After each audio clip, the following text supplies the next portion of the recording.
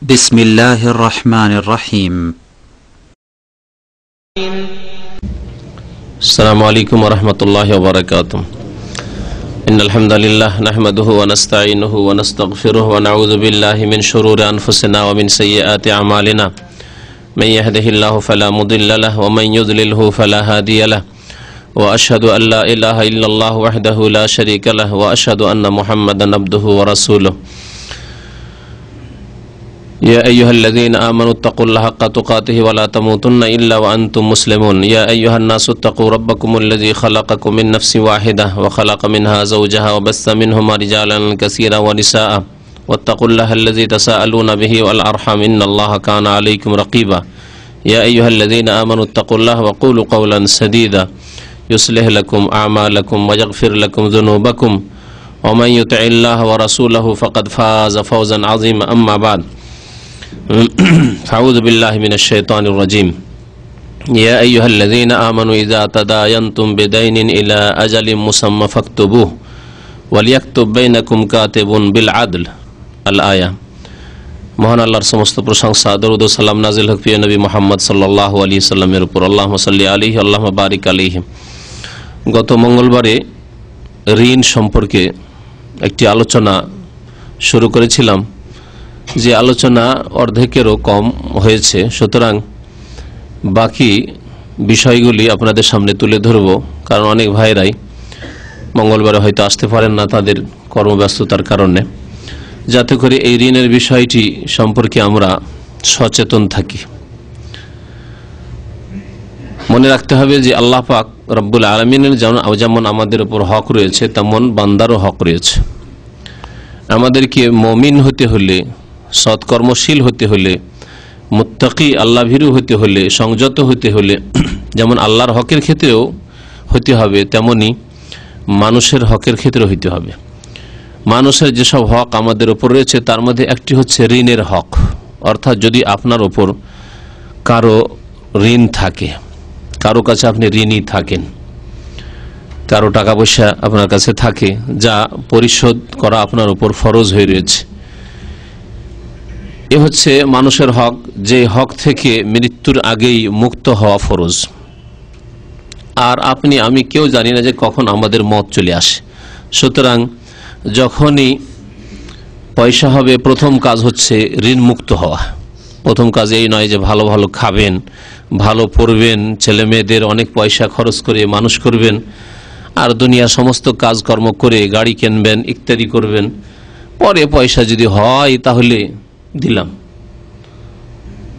সুযোগ সুবিধা হলে দিলাম, বেশ সচ্ছলতা হলে দিলাম না। আজকালকার জামানার অধিকাংশ মানুষ, বরং অধিকাংশ মুসলিমের এই অবস্থা।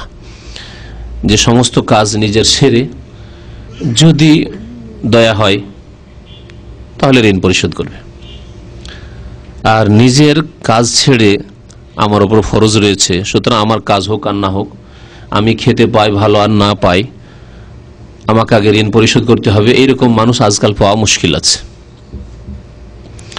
আমার ওপর ঋণ আছে, সুতরাং আমার জমি বিক্রি করে হলেও দিতে হবে। এইরকম মানুষ পাওয়া আজকাল মানে হয়তো যাবে না। কিন্তু এটি হচ্ছে দিন ইসলাম, যে আপনার ওপর ঋণ আছে, মানুষের হক আছে। সুতরাং যে কোনো অবস্থাতে আপনাকে ঋণ পরিশোধের চেষ্টা করতে হবে। যদিও আপনার, আপনাকে কিছু সময় খিদাই থাকতে হয় ছেলে মেয়ে নিয়ে একটু কষ্ট করে চলতে হয়। তবুও আপনাকে ঋণ পরিশোধ করতে হবে, কারণ আল্লাহ পাক মানুষের হক মাফ করবেন না। আল্লাহ তার নিজের হক ইচ্ছা করলে মাফ করে দেবেন। ওয়াক ফিরোমা দুন আলিকা লেমাইয়া শাহ শিরকের পরে বাকি গুণাগুলি মানে আল্লাহর হকের ক্ষেত্রে যে গুণাগুলি রয়েছে, সেই গুণাগুলি যাকে চাইবেন আল্লাহ মাফ করে দেবেন। কারণ আল্লাহর হক, আল্লাহর ইচ্ছা হলে আল্লাহ মাফ করে দিতে পারেন।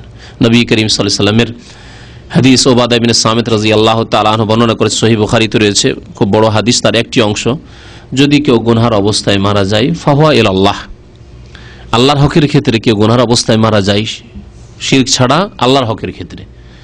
ইনশাহ আজাবাহু ওয়া ইনশাহ গাফার আল্লাহ আল্লাহ চাইলে শাস্তি দেবেন, কারণ গুনা করেছ, আল্লাহ শাস্তি দেবেন। ওয়াইন শাহ গাফার আল্লাহ আর যদি আল্লাহর মর্জি হয়, তাহলে আল্লাহ মাফ করে দেবেন। আল্লাহর হকের ক্ষেত্রে। কিন্তু বান্দার হকের ক্ষেত্রে না, আল্লাহ মাফ করবেন না। যতক্ষণ পর্যন্ত ওই মানুষ আপনাকে মাফ না করবে। ঋণের বিষয়টি বান্দার যেসব হক রয়েছে, অনেক হক রয়েছে বান্দার আপনার আমার ওপর। তার মধ্যে একটি হক হচ্ছে ঋণ। যদি আপনি কারও কাছে ঋণই থাকেন ঋণের সম্পর্কে বেশ কিছু আলোচনা হয়ে গেছে। বাকিগুলি আপনাদের সামনে পেশ করব। আল্লাহ পাক রব্বুল আলমিন সুরে বাকার আয়াত নম্বর দুইশো বিরাশিতে, অর্থাৎ সুরে বাকার শেষ দিকে একেবারে। একটি বড় আয়াত রয়েছে। যে আয়াতটি কোরআনী করিমের সবচেয়ে বড় আয়াত। যে আয়াতের নাম তফসির কারদের ভাষায় আয়াতুল মোদায়ানা মানে ঋণ করজ ঋণ আদান প্রদানের আয়াত। ঋণ আদান প্রদানের নীতিমালা সংক্রান্ত আয়াত। সবচাইতে বড় আয়াত কোরআন করিমের এ হচ্ছে আয়াতুল মুদায়না ঋণ বা দাইনের আয়াত। আল্লাহ পাক তার শুরুতে এরশাদ করেছেন ইয়াইহাল্লাযিনা আমানু, হে মমিনগণ এজা তাদায়ান্তুম বেদাইনিন ইলা আজালিম মুসাম্মা যখন তোমরা কোনো ঋণের আদান প্রদান করবে, তাদায়ান্তুম বেদাইনিন, ঋণ করজের আদান প্রদান করবে। এলা আজালি মোসাম্মা আল্লাহ বলছেন সেটি হবে নির্দিষ্ট সময়ের জন্য। এখানে আমাদের ভুল রয়েছে। আমরা আজকাল, আমার মনে হয় হাত একটিও লোক উঠাতে পারবেন না। যদি জিজ্ঞাসা করি যে আপনার যা ঋণ দেন, তো এই কথা বলে দেন যে কত দিনের জন্য নিচ্ছেন? হয়তো এক দুজনকে হইতে পারে, যার সম্পর্কে দেখছেন যে এ খুব ভারী হয়তো দেবে কি দেবে কখন দেবে। কিন্তু এমনি বন্ধু বান্ধবের মাঝে আত্মীয় স্বজন- স্বজনদের মাঝে মাঝে, আপনজনদের মাঝে যে ঋণের আদান প্রদান করছেন, তখন কি সময় নির্ধারিত করে দেন? আছে এরকম লোক? এক দুজনের ক্ষেত্রে নয়, আপনি যে কোনো লোককে ঋণ দেন, আপনি সময় নির্ধারণ করেন। ভাই, কতদিনের জন্য নিচ্ছ তুমি? কখন দেবে তুমি? হ্যাঁ? তারিখটা বলে দাও যে কোন তারিখে তুমি দেবে। এরকম লোক আছেন কি? হ্যাঁ কেউ থাকলে বলেন। আছেন? প্রত্যেক ক্ষেত্রে। এখানে স্যালারিতে আপনার দেশের অবস্থা, আপনার সারা লাইফের কথা জিজ্ঞেস করছি যে আপনি কি এরকম করেন? হ্যাঁ? আপনার আত্মীয় স্বজনদেরকে, ঘনিষ্ঠ বন্ধুকে, যে এই বেতন পেলে দিতে হবে কিন্তু, আর প্রত্যেকে চাকরি করে।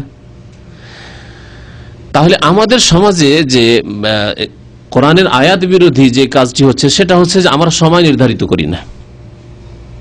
সময় নির্ধারিত করি না। কারণ কারণ আমরা লজ্জা করি খুব বেশি। তাই না? কি করে বলব? আবু হানিফা ভাইকে ধার দিচ্ছি, সৈয়দ জামান সাহেবকে ধার দিচ্ছি, আমি, আমার এত ঘনিষ্ঠ লোক, কি করে বলব যে আপনি কখন দেবেন ভাই? অভদ্রতা মনে করি এটিকে আল্লাহ বলছেন, এলা আজালিন মোসাম্মা, নির্দিষ্ট সময়ের জন্য হইতে হবে, যাতে পরে মনোমালিন্য না হয়, ঝগড়া বিবাদ না হয়। ও সাহেব যে ধার নিয়েছে, ও ভাবছে যে আমি তো ধার নিয়েছি, সচ্ছল ব্যক্তির কাছে, আমি এক দু বছর পর যখন ইচ্ছা তখন দেবো। আমার আত্মীয় আমার মামাতো ভাই, খালাতো ভাই, চাচাতো ভাইয়ের কাছে বা আপন ভাইয়ের কাছে নিচ্ছি যখন ইচ্ছা তখন দেব। আর এ ভাই যে ঋণদাতা, সে চিন্তা করে বসে আছে যে আমি দিয়েছি দুই তিন মাসের জন্য, এক মাসের জন্য। ঝগড়া বিবাদ হবে না? আর তাই হচ্ছে।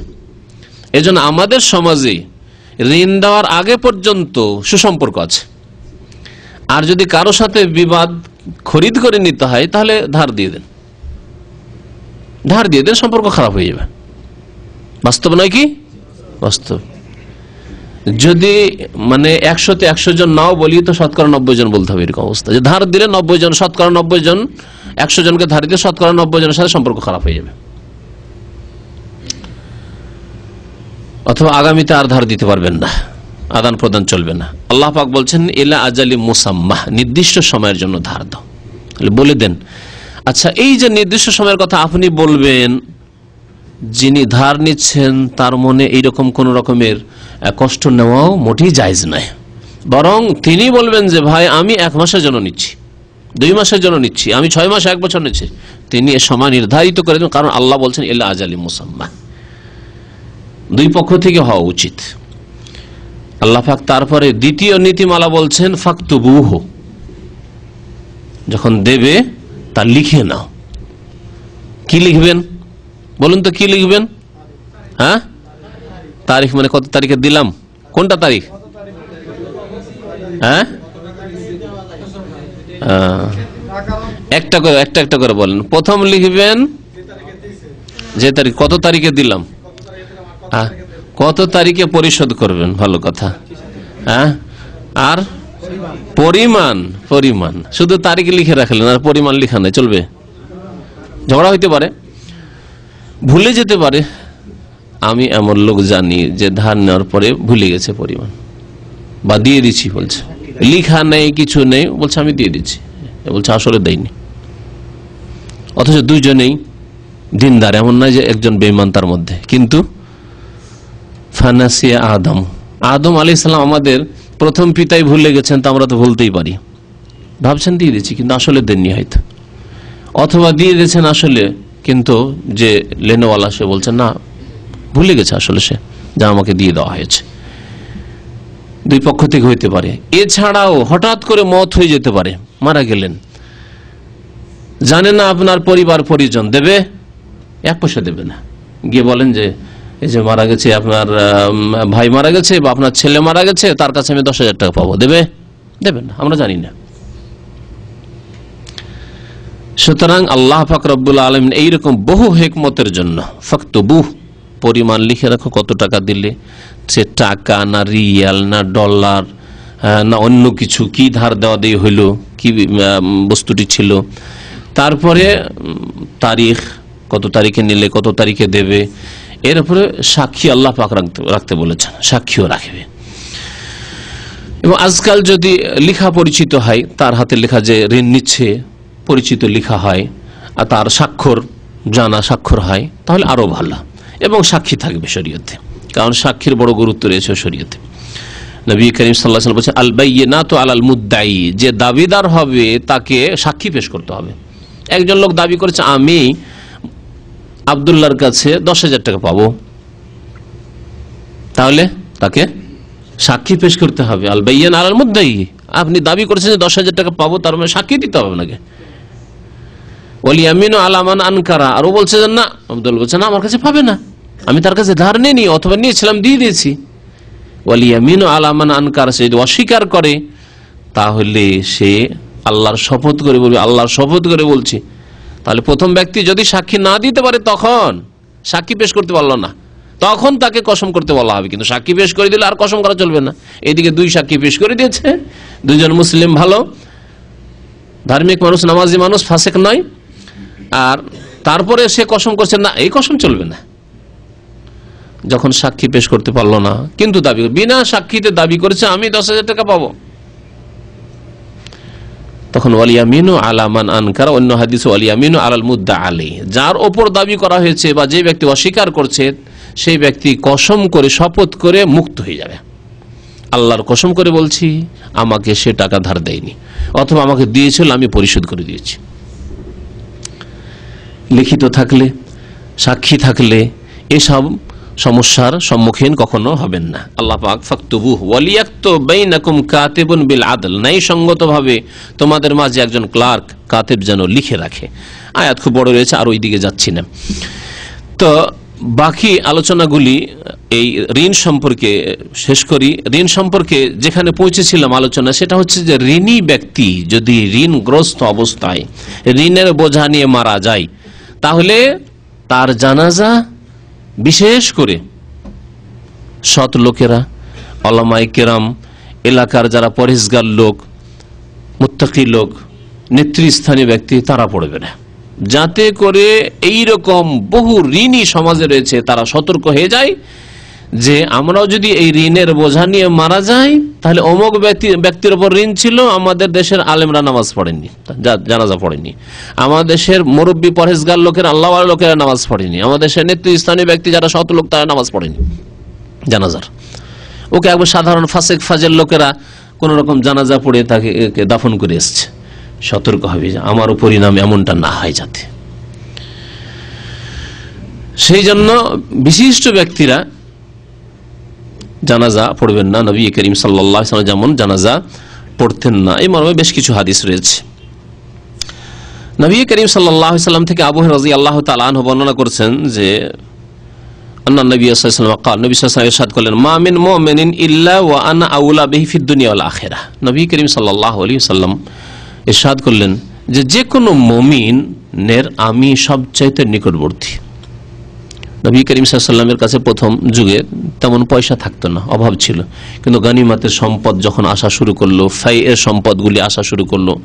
গানিমাত ফাই অর্থাৎ জেহাদ ফিসাবিল্লা গিয়ে যুদ্ধের পরে মেহনত পরিশ্রমের পরে রণক্ষেত্র থেকে আল্লাহর সুতুরা যখন পলায়ন করল, আর হাসিল হলো যুদ্ধ করার পরে, এটাকে গানিমাতের সম্পদ বলা হয়।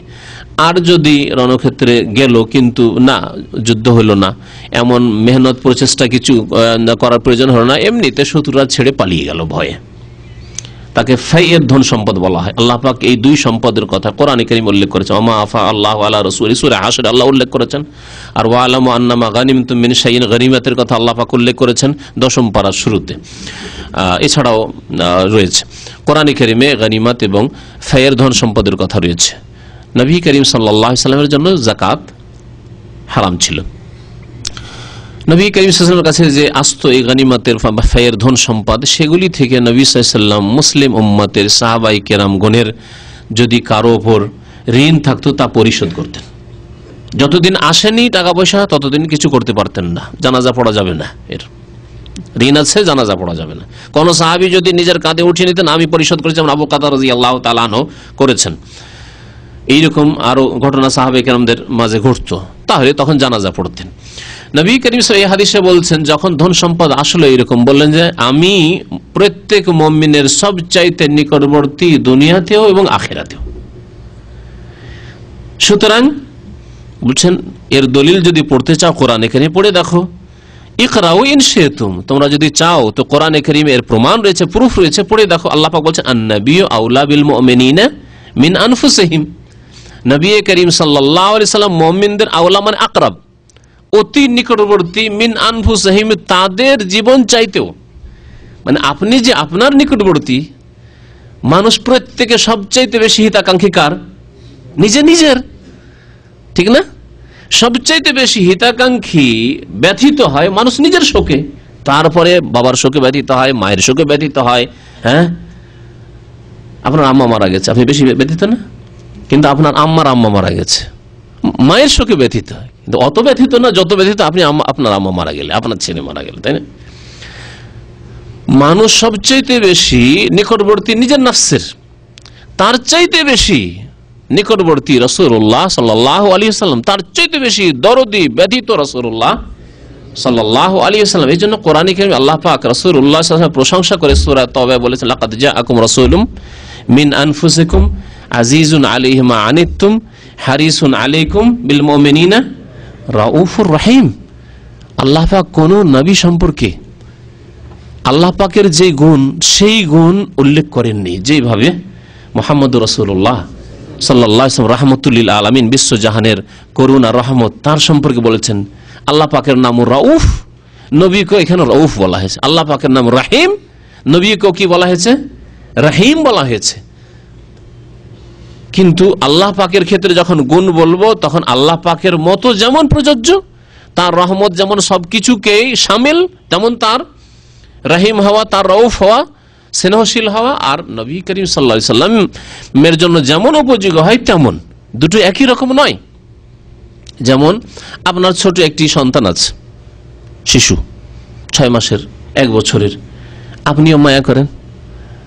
আর আপনার ছেলেগুলো মায়া করে, বড় ছেলেও আছে, মেয়ে আছে, ওরাও মায়া করে। দুটি কি সমান?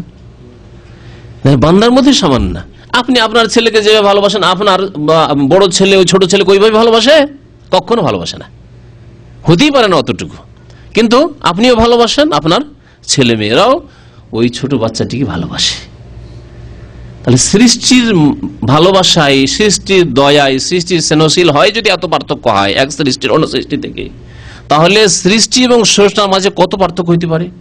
মোহাম্মদ রসুল্লাহ সাহেবের দয়া আর আল্লাহ পাক যিনি মোহাম্মদ রসুল্লাহ সাহেবের রব, তার দয়ায়, রহমতে এবং তার স্নেহশীল হয়, কত পার্থক্য হইতে পারে? আসমান জমিনের চাইতে অনেক বেশি পার্থক্য। কখনো এইরকম ভাবেন না যে, বিল মমিনা রউফুর নবী সাল্লাম মমিনদের সাথে স্নেহশীল এবং রহিম, দয়ালু, তার মানে আল্লাহর কাছে যেমন চাইব, নবীর কাছে চাইব, না, মুশরেক হয়ে যাবে, না, শেরক। ওয়ালা মিন দুনিল্লাহ। আল্লাহ বলছেন, আল্লাহ ছাড়া আর কারও কাছে চেয়েও না, কাউকে ডাকিও না। মালায়ান ফাওয়াকা ওয়ালা ইয়াদুররুক। যারা তোমার উপকারও করতে পারে না, আর ক্ষতি সাধনও করতে পারে না। ফাইন ফালতা যদি এমনটা করো, আল্লাহ ছাড়া অন্য কারও কাছে দোয়া করে দাও, চেয়ে দাও। হ্যাঁ ইয়া গোসুল আজম, মাদাদ, ইয়া খাজা বাবা, মাদাদ মাদাদ, ইয়া রাসুল আল্লাহ যদি করে দাও, তাহলে ফাইন ফালতা ফাইন নাকি ইজাম মিনাক জালেমিন তাহলে তুমি জালেম মুশরেকদের অন্তর্ভুক্ত হয়ে যাবে।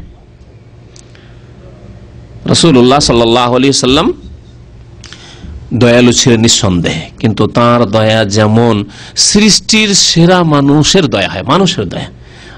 রবের দয়া, আল্লাহ পাকের দয়া, যেমন রবের দয়া হয়, আল্লাহ পাক সৃষ্টিকর্তার দয়া হয়। নবী সাল্লাম বলছেন যে, এর দলিল আন নবী আউলাবিল মুমিনিন আমিন আনফুসাহিম। নবী করিম আলাইহি সাল্লাম মুমিনদের অত্যন্ত নিকটবর্তী, তাদের জীবন তাদের প্রাণ চাইতেও। ফাইয়ুমা মুমিনিন মাতা, সুতরাং যে কোনো মুমিন মুসলিম যদি মারা যায়, ওয়া তারাকা মালান, আর ধন সম্পদ ছেড়ে যায়। কোন মুসলিম, কোন সাহাবী মারা গেছেন, আর টাকা পয়সা, ধন সম্পদ, জমি জায়গায় ছেড়ে গেছে। কে নেবেন? রসুল্লাহ সাল্লাম আমি যে নিকটবর্তী বেশি নিয়ে নেবেন? বলছেন, না না না, নেব না, দেব। বলছেন ফালিয়ারেসু আসাবাতহু। তাহলে তার এই পরিত্যক্ত ধন সম্পদের উত্তরাধিকারী হবে ওয়ারেস হবে তার আত্মীয় স্বজন, আসাবা যারা, তার আশেপাশে যারা আছে। ছেলে আছে, মেয়ে আছে বাবা আছে, মা আছে ভাই বোন আছে ইত্যাদি। তারা ওয়ারেস হবে, আমি ওয়ারেস হব না, আমি চাই না তোমাদের ধন সম্পদ। মান কানু, যে কেউ থাক আত্মীয় স্বজন অমান তারাকা দাইনান আও দয়ান কিন্তু কোন ব্যক্তি যদি ঋণ ছেড়ে যায় মারা গেছে, টাকা পয়সা কিছু ছেড়ে যায়নি, পরিত্যক্ত ধন নেই, ঋণ ছেড়ে গেছে মানে ওর ওপর ঋণ আছে। অথবা এমন অসহায় ব্যক্তিদের ছেড়ে গেছে, ইয়েতিম, এক বছরের ছেলে, ছয় মাসের ছেলে, মেয়ে, দুই বছরের বৃদ্ধ মা বাবা তাদের খাবার দেওয়ার কেউ নেই। যাদের নষ্ট হয়ে যাওয়ার আশঙ্কা আছে, এই লোকটি মরে যাওয়ার পরে আর উপায় নেই উপার্জনের। কেউ তাদের জন্য উপার্জন করার নেই। এখন দেখাশোনা কে করবে? এই ছোট ছোট শিশুদের, এই বিধবার, তাদেরকে উদ্দেশ্য করা হয়েছে আন বলে। যদি কেউ ঋণ ছেড়ে যায়, ঋণ পরিশোধ করতে পারেনি। অথবা এমন অসহায়দেরকে ছেড়ে গেছে যাদের উপার্জনের কোনো ব্যবস্থা নেই। ফালিয়াতিনি, তারা যেন অবশ্যই আমার কাছে আসে। আসো আমার কাছে। মাওলাহু, আমি তাদের অভিভাবক। আমি তাদের অভিভাবক বলি। আমি তাদের ওপর খরচ করব, ব্যয় করব। আমি তাদের ব্যয় বহন করব। আমি তাদের ঋণ পরিশোধ করব। রসুল্লাহ সাল্লাহ আলী সাল্লাম ধন সম্পদ, গনিমাত আর ফায়ের আসার পরে যাদের ওপর ঋণ থাকতো, ওই ঋণগুলি পরিশোধ করে দিতেন। এই মর্মেও বেশ কিছু হাদিস রয়েছে। তারপরে আপনাদেরকে দুই একটি দোয়া শেখাবো ঋণ পরিশোধের। ঋণ পরিশোধের জন্য প্রথম গত আলোচনায় বলেছি যে সৎ নিয়ত হইতে হবে। সৎ নিয়ত হইতে হবে। তারপরে দোয়া করতে হবে। সৎ নিয়ত, তারপরে দোয়া। কারণ আজকাল কিছু মানুষ আছে, হুজুর দোয়া করবেন। হ্যাঁ? আব্বা দোয়া করবেন। মা, আমার জন্য দোয়া করিও। যদি বলেন, ভাই, নামাজ পড়েন? হুজুর, দোয়া করিয়েন। নামাজ পড়বে না, ওর জন্য দোয়া করে ওকে নামাজি বানাইতে হবে। চেষ্টা করবে না। মসজিদও যাবে না ও। মেহনত করবে না, সদিচ্ছাও রাখে না। জবরদস্তি ওকে দোয়া করে ওকে নামাজি বানাইতে হবে। কোনোদিন হবে? নবী করিম সাল্লাহ আলি সাল্লাম শুধু দুয়ার নির্ভর করেছেন, না বদর ওহদের মাঠে গেছেন? হ্যাঁ? মসজিদ নবীতে বসে থাকব, আল্লাহকে আমন করে ডাকবো যে আবু জাহাল ওখানে ধসে ধ্বংস হয়ে যাবে। এই কাজ করেছেন নাকি? দেড়শো কিলোমিটারের বেশি বদর তারও বেশি মনে হয়। মদিনা থেকে গিয়েছেন, তারপর আবু জাহাল আসছে মক্কা থেকে, আয় খবর আছে। তারপর ওখানে জিহাদ করেছেন। তারপরে না আল্লাহর গজব এসছে আবু জাহালের ওপর হ্যাঁ? অথবা সাইবার রাবিয়ার ওপর মক্কার বড় বড় নেতা কাফেরদের ওপর তো আপনাকে দোয়া করতে হবে, তার আগে সৎ নিয়ত রাখতে হবে। নামাজি হওয়ার ক্ষেত্রেও আর ঋণ পরিশোধের ক্ষেত্রে ঋণ পরিশোধের ক্ষেত্রে সৎ নিয়ত রাখতে হবে। যখন ঋণ নেবেন, আল্লাহ তুমি ঋণ তো নিলাম, কিন্তু ঋণ পরিশোধ করার তৌফিক দিও আল্লাহ। সৎ নিয়ত আছে। নবী করিম সাল্লামের এই হাদিস আমি শুরুতে শুনিয়েছি। যে যেই ব্যক্তি ঋণ নেবে, নেওয়ার পরে তা আদায় করার ইচ্ছা আছে। আব্দাল্লাহ আনহু। আল্লাহ তার ঋণকে আদায় করে দেবেন, তৌফিক দেবেন তাকে। এমন রাস্তা খুলে দেবেন, রিজিকের আপনার ঋণ পরিশোধ হয়ে যাবে। ওমান আখাজা ইউরিদ ইতলাফাহার কেউ যদি ঋণ নেই, এই উদ্দেশ্যে যে ঋণ নিতে পারলেই কাজ। টাকা যদি আমার পকেটে চলে আসে, কোথা থেকে পাবে? প্রাণ দেবো, দেশে চলে যাব। ওকে তো ঠিকানাও দিনই আমার খোঁজ খবর রাখে না যে কোন ডিস্ট্রিক্ট আমার বাড়ি বা কোন থানায় বাড়ি। তাই না? ভিসা দিব বলে টাকা নিয়ে নিয়েছি, ব্যাস। যেই ব্যক্তি এইভাবে টাকা পয়সা কারণ নেবে, উদ্দেশ্য হচ্ছে তার টাকা পয়সা দেব না, নষ্ট করা। ঋণ পরিশোধ করব না। আতলাফাহুল্লাহ। কঠোর বাণী উচ্চারণ করেছেন রসুল্লাহ সাল্লাম আল্লাহর যদি ভয় থাকে, আল্লাহর আজাব বলে, আল্লাহর পানিশমেন্ট বলে, আল্লাহর গজব বলে দুনিয়া যদি ভয় থাকে, ভয় করা উচিত। আতলাফাহুল্লাহ, তাকে আল্লাহ সর্বনাশ করে দেবেন। তুমি পাঁচ হাজার টাকা কারও সর্বনাশ করলে তোমাকে আল্লাহ সর্বনাশ করে দেবেন। তোমার পরিবারকে সর্বনাশ করে দেবেন, তোমার ছেলে মেয়েদেরকে সর্বনাশ করে দেবেন, আরাম খেয়ে মরবে, ঋণ খেয়ে। তাহলে সৎ নিয়ত রাখতে হবে, তারপরে দোয়া করতে হবে। এই মর্মে কয়েকটি দোয়া আপনাদেরকে শোনায় আলী রাজি আল্লাহ তালানহ বর্ণনা করছেন যে, তার কাছে একদিন একটি কৃত দাস আসলো। নবী মানাই কৃত দাস ছিল। কৃত দাস অনেক সময় মনিবের সাথে একটা চুক্তি করে নিত এগ্রিমেন্ট যে আমি আপনার কাছ থেকে মুক্ত হয়ে যাব। কীভাবে মুক্ত হবে? এমনিতে ছাড়বে? টাকা চায়। টাকা চায়। ঠিক আছে, মুক্ত হবে, তো তুমি আমাকে পাঁচ হাজার টাকা দিয়ে দাও বা দশ হাজার টাকা দিয়ে দাও, দিয়ে মুক্ত হয়ে চলে যাও। আর আমার কাজ করতে হবে, তুমি স্বাধীনভাবে থাকবে। কৃতদাস হলে জায়জ। কৃতদাস হলে এইরকম, কারণ কৃতদাসের মালিক হচ্ছে তার মনিব। কিন্তু আজকাল কফিলরা যে করছে, আমার কফালা থেকে যেতে হলে পাঁচ হাজার রিয়াল দেও, দিয়ে যাও, এটি হারাম। কারণ যারা কফিলের কাছে কাজে এসছে, এরা কি তো দাস নয় তোমার কর্মচারীর প্রয়োজন হয়েছে আমের লেবারের প্রয়োজন হয়েছে, তোমার কাছে কাজে এসছে। তোমার সরকার বলছে হ্যাঁ? দেশের শাসক বলছে, মুসলিম শাসক বলছে, যে তোমার যতটা লেবারের প্রয়োজন, ততটা নিয়ে আসো। দশ জনের প্রয়োজন, দশ জন নিয়ে আসো এগারো জন নয়। তোমার কাজ আছে, নিয়ে আসো, না হলে নিয়ে আসো না, ফ্রি ভিসা বলে কিছু নেই। ফ্রি ভিসার নামে এত টাকাই দেব তোমাকে সব হারাম। আর তারপরে তুমি আসলে একামা করে দেবো, এত টাকা নেব, আর তারপরে বছরে বছরে, মাসে মাসে দুশো রিয়াল, তিনশো রিয়াল নেব, আর তারপরে যদি তুমি রিলিজ চাও, তাহলে তোমার কাছে পাঁচ হাজার রিয়াল নেব, সবগুলি হারাম সবগুলি হারাম। কোরআন হাদিসও হারাম এবং সরকারের আইনও এখন হারাম। এই জন্য আমের লেবার নিয়ে আসতে সরকার বলেনি। আর এরা দাস নয় যে পাঁচ হাজার টাকা তুমি দাও, তারপরে আমার কাছ থেকে রিলিজ হয়ে যাও। তানাজুল করে যাও। এটি হচ্ছে বাইনাকুমিল বাতিল। বাতিল পন্থায় তোমরা একে অপরের ধন সম্পদ ভক্ষণ করিও না। আল্লাহ পাক হারাম করেছেন। এবং এই হারাম খেয়ে যারা মারা যাবে এইরকম হারাম খেয়ে, যে কোনো হারাম খেয়ে, ঋণের হারামই হোক আর এই কফলার হারাম খেয়ে হোক এইসব খেয়ে যারা মারা যাবে, ফান্নার আউলাবিহি জাহান্নামের আগুন তাদের বেশি হকদার। তো মোকাতাব বলা হইতো, যার সাথে এই চুক্তি হয়ে গেছে কৃতদাস কৃতদাসের কাজ কি? আসলে কৃতদাস না বুঝলে আবার বুঝতে পারবেন ভাববেন যে হয়তো আজকালকার যুগের আমেল কর্মচারীদের মধ্যে হইতো না কৃতদাস সে জিহাদ ফিসাবিল্লা কাফের ছিল তখন, ধরা পড়েছে, অথবা তার বাবা ধরা পড়েছে। সুতরাং তারা কৃতদাস খালিফাতুল মুসলিমিন বা রসুল্লাহ যেমন রসুল্লাহ সাল্লাম যাকে ভাগ বন্টনে দিয়েছে, জিহাদ থেকে ওদের বন্দীদেরকে নিয়ে এসে তার দাস হয়েছে। তারপরে দাসের কাজ হচ্ছে যা কিছু আয় উপার্জন করবে, সে নিয়ে এসে মনিবকে দেবে। দিয়ে একশো টাকা ইনকাম করল, মনিবকে দেবে। মনিব শুধু তাকে খাওয়া দাওয়া দেবে। এবং এই দাসের মালিক ওই রকমই মনিব মালিক, যেমন অন্য যে সম্পদ রয়েছে সেসবের মালিক টাকা পয়সার মালিক, স্বর্ণের মালিক ওই রকম সুতরাং এই দাসের ব্যক্তি মালিকানা নেই। দাস যা কিছু ইনকাম করবে, তার মালিক হবে তার মনিব, তার আকা।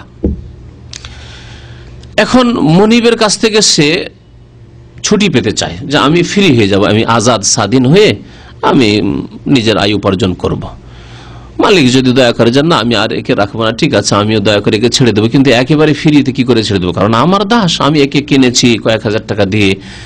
যারা পেয়েছিল জিহাদ ফিসাবিলের মাধ্যমে, তাদের কাছ থেকে কিনলেও দাস থাকবে, অথবা সরাসরি আমি পেয়েছি একে নবী কাছ থেকে, সাহাবাই খলি খালিফার কাছ থেকে। সুতরাং একে আমি এমনি কি করে ফেরি ছাড়ি? আমারও কিছু টাকা পয়সার প্রয়োজন রয়েছে। সুতরাং আমি তোমার কাছে পাঁচ হাজার টাকা নেব। তাহলে তোমাকে মুক্ত করে দেব।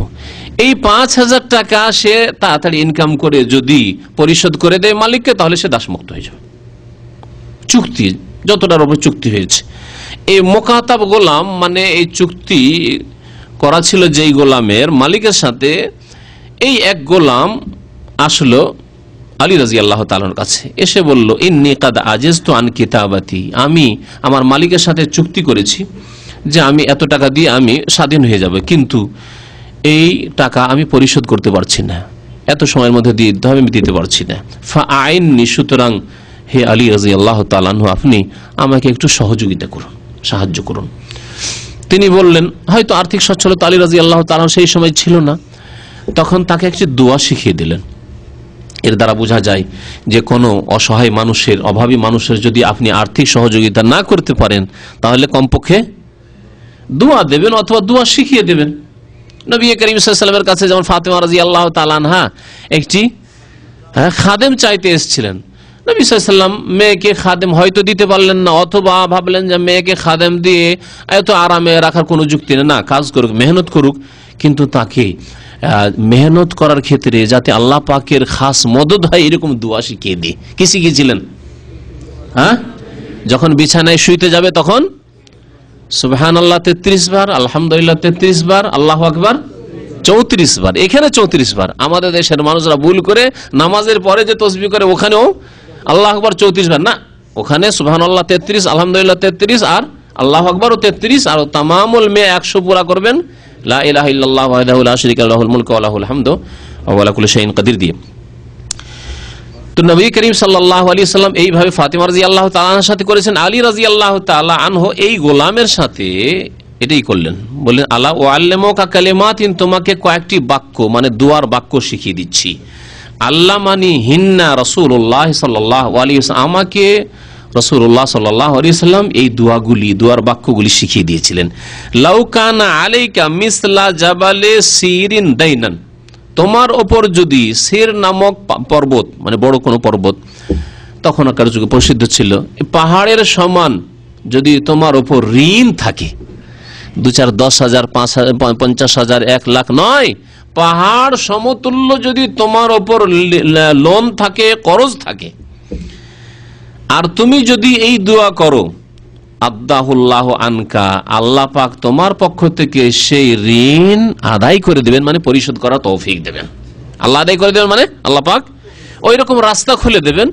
আপনি এসেছিলেন পাঁচশো রিয়াল বেতনে, কিন্তু কপিলের খুব দয়া হয়ে গেল। যাক, লোকটা তো ভালোই লাগে। একে রিলিজ দিয়ে দিই ছেড়ে ছেড়ে দিল। যাও তুমি কাজ করো। ভালো কাজ খুঁজে নাও। হঠাৎ করে এক জায়গায় দুই হাজার রিয়ালের চাকরি পেয়ে গেলেন। আপনার ইমান দুর্বল সেই জন্য আল্লাহ যে রিজেক খুলেন, মমিন বান্দা ভালো মানুষের জন্য যদি সৎ নিয়ত থাকে, ঋণী হয়ে এসছেন, দুই তিন লাখ টাকা ঋণ করে এসছেন আপনি বিদেশে। আপনি সৎ মানুষ, আল্লাহ পাক আপনার জন্য হ্যাঁ রিজিকের দরজা খুলে দিয়েছেন, কিন্তু আপনার অনুভূতি দুর্বল সেই জন্য হয়তো অনুভব নেই। কিন্তু অনুভূতি থাকলে আপনি হাড়ে হাড়ে টের পাবেন যে সত্যি আল্লাহকে ভয় করলে এবং আল্লাহর উপর ভরসা করলে আল্লাহ পাক যে রেজিকের দরজা খুলে দেন, আল্লাহ পাক যে যথেষ্ট হন হ্যাঁ? মানে হাসবো, আল্লাহ যথেষ্ট হন, কোরআন কারিমে বলেছেন। কথা সত্য। অনুভব করছেন আপনি। বললেন যে আল্লাহ পাক রব্বুল আলমে তোমার পাহাড়ের সমান যদি ঋণ থাকে তবু আদায় করে দেবেন। কালা কুল। বললেন আলী রাজি আল্লাহ এই দোয়া তুমি বেশি বেশি। আল্লাহ ফেনি বে হালালেকা আন হারামেকা ওয়া আগনেনি বে ফদলেকা আম্মান সেওয়াক।